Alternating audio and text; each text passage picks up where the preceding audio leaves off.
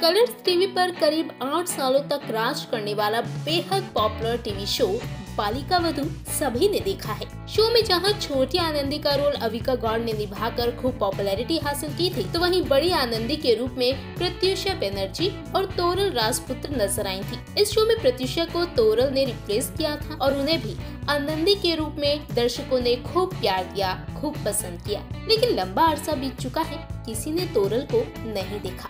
ऐसे में लोगों के जहन में सवाल रहता है कि आखिर तोरल अब कहाँ है और क्या कर रहे हैं? आपको बता दें कि तोरल ने बालिका वधु के बाद भी टीवी इंडस्ट्री में कई शोज़ किए, जिसमें उड़ान मोल की रूप मर्द का नया स्वरूप, धर्म योद्धा गरुण जैसे तमाम टीवी सीरियल्स हैं। तोरल राजपुत्र इन दिनों सोशल मीडिया पर काफ़ी एक्टिव रहती हैं।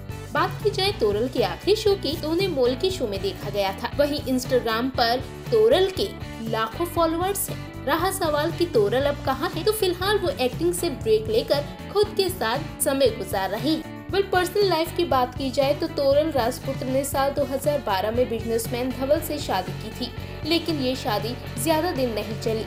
उनके बीच काफ़ी अनबन होने लगी थी, ऐसा खबरों में कहा गया। तोरल की शादीशुदा ज़िंदगी इतनी खराब हो गई थी कि तीन साल के अंदर, यानी 2015 में घर छोड़कर चली गई थी। बाद में इनका 2017 में तलाक हो गया था। हालाँकि अब खबरें सामने आई है कि तोरल राजपुत्र को शादी और तलाक के बाद एक बार फिर से प्यार हुआ है, लेकिन इसका खुलासा उन्होंने अभी तक नहीं किया। वो पर्सनल लाइफ के बारे में ज़्यादा नहीं बोलती हैं। खैर, तोरल के फैंस तो यही चाहते हैं कि वो लाइफ में आगे बढ़े और अपने चाहने वालों को अपनी दमदार एक्टिंग से लुभाती रहें।